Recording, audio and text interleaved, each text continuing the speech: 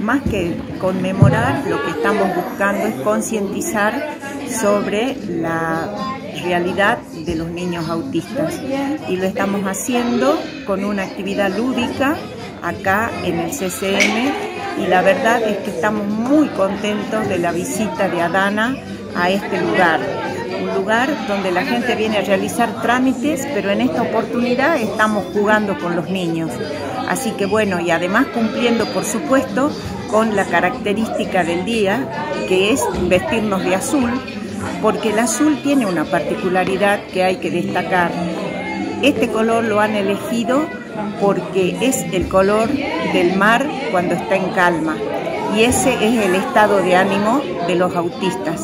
Así que la razón por la que vestimos de azul es justamente, de azul es justamente eso,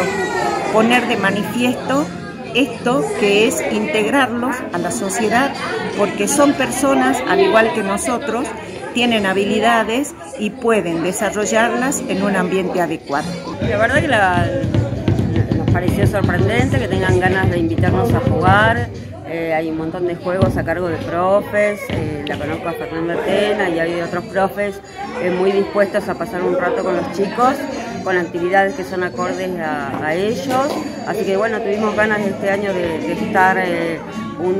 el 2 de abril es el Día Internacional para la Concientización sobre el Autismo, así que bueno, tuvimos ganas de, estar eh, en la municipalidad, ya que ellos pusieron como energía en, recibirnos y bueno, salir de visita también para nosotros está muy bueno. Y mucho respeto, tratar de, informarse, eh, a veces por ahí vamos en los colectivos, en las calles, en algún parque, por ahí no nos damos cuenta que estamos frente a una persona con autismo y, prejuzgamos, eh, no comprendemos por ahí situaciones de crisis o cosas que nos parecen raras, eh, por ahí ser más respetuosos, más respetuosos en general. Eh, yo creo que con el respeto, digamos, que no solo incluye a las personas con autismo, sino con una, una vida de respeto por el otro,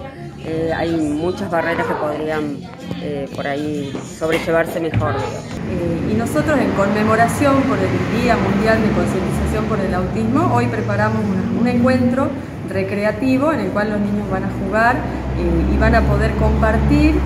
junto con el personal de la municipalidad una jornada recreativa de juegos, de canciones y posterior a esto se va a realizar también otra actividad que tiene que ver con la concientización dentro de lo que es el CCM